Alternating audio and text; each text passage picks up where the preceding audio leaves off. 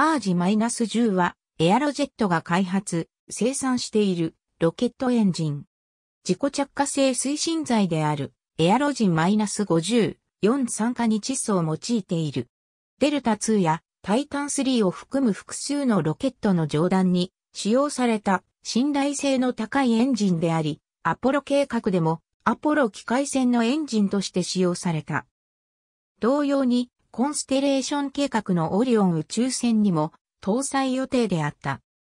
タンク内をガスにより圧力をかけることにより推進剤をエンジンへ供給する圧送式サイクルを使用しているため複雑なターボポンプを必要としない。また、混合するだけで着火、燃焼する自己着火性推進剤を使用しているため、再着火も容易で信頼性が高い。ノズルと燃焼室の周囲を推進剤が循環することにより冷却する再生冷却機構を採用している。50年間で360機以上が打ち上げられた。最初に実用化されたのは、アージ -10 から118型であり、バンガードロケットの2段目のエーブルロケットに使用された。推進剤は、硝酸と非対称ジメチルヒドラジンであった。最初のバンガードの打ち上げは、1957年12月6日のバンガード TB3 であり、第1弾に問題があったため、ロケットは発射台上で爆発している。1958年2月5日の打ち上げも第1弾の燃焼時に失敗した。アージ -10 エンジンは1958年3月17日の3度目のバンガードの打ち上げで初めて運用に至り、バンガード1号の軌道投入に成功した。日本の宇宙開発においても、石川島播磨重工業がエアロジェット社からライセンスの許諾を受けて生産したアージ10から118回 J、アージ10から118富士が N、2ロケットの2段目として搭載され、気象衛星や放送衛星の打ち上げに使用された。このエンジンの開発は1950年代後半よりエアロジェット社において行われた。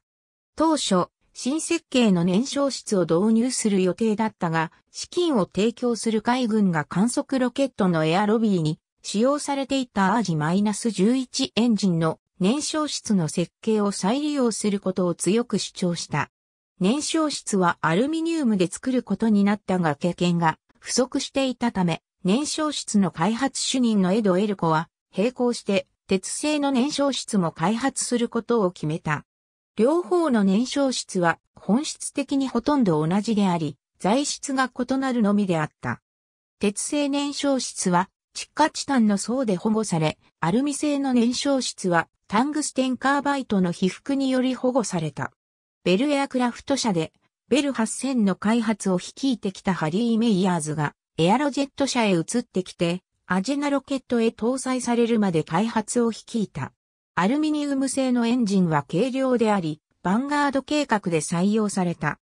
最初の生産型のエンジンであるアージ -10 から118とアージ -10 から40では、鉄製とアルミ製の双方が生産され、15機がアルミ製で3機が鉄製だった。バンガードロケットでは、アルミニウム製の燃焼室は当初正常に作動せず、バンガード計画の失敗の一因になった。後に改良された鉄製とアルミ製の燃焼室が開発されたが、すでにバンガード計画は終了しており、NASA と空軍が宇宙空間の利用と研究を担っていた。空軍は、総ロケットにジョーダンロケットとして組み合わせるエーブルロケットのエンジンにアージ -10 の使用を計画した。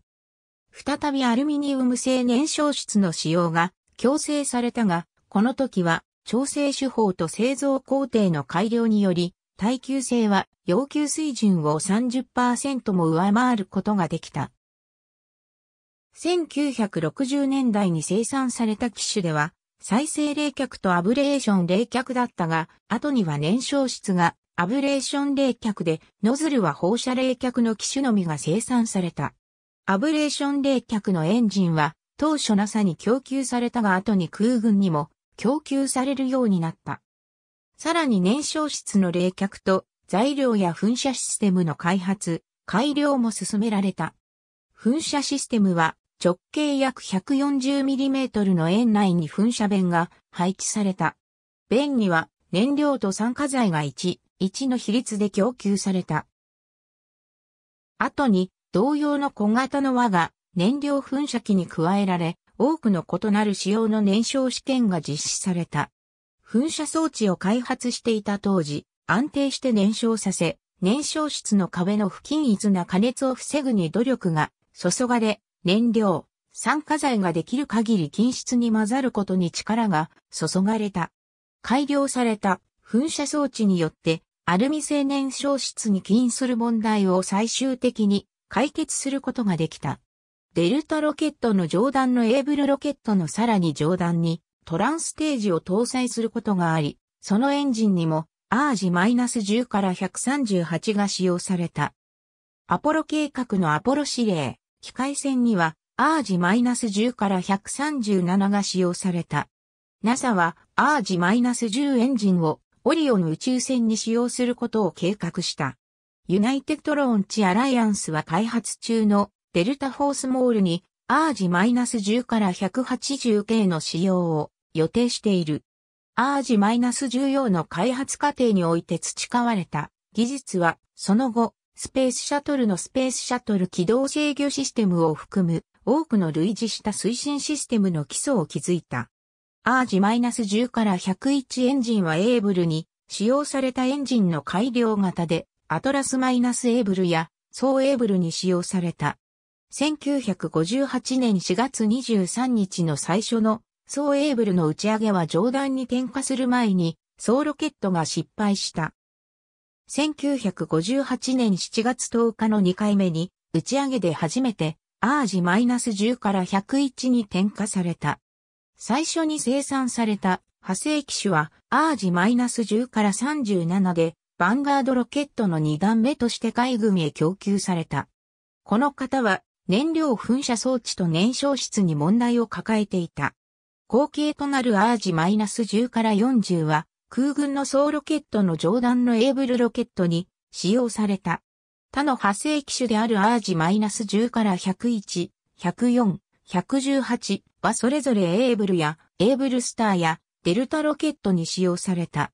アポロ計画において、より強力なアージ -10 から137が開発され、アポロ指令、機械船の推進に使用された。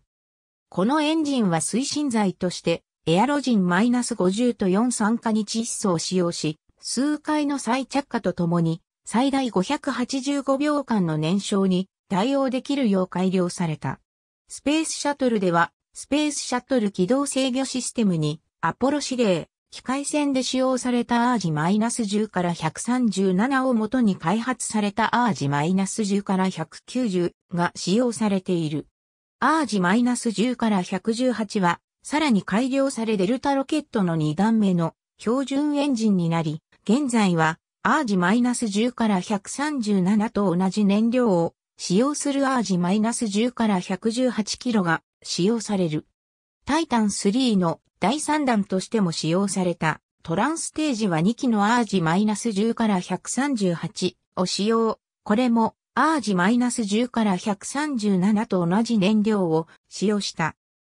デルタ4の小型版でも2段目に使用が検討された。アージ -10 エンジンは50年の歴史において RL-10 や LR-87 休むと組み合わせて使用され、これまで累計360機以上が使用された最も成功したエンジンの一つである。ありがとうございます。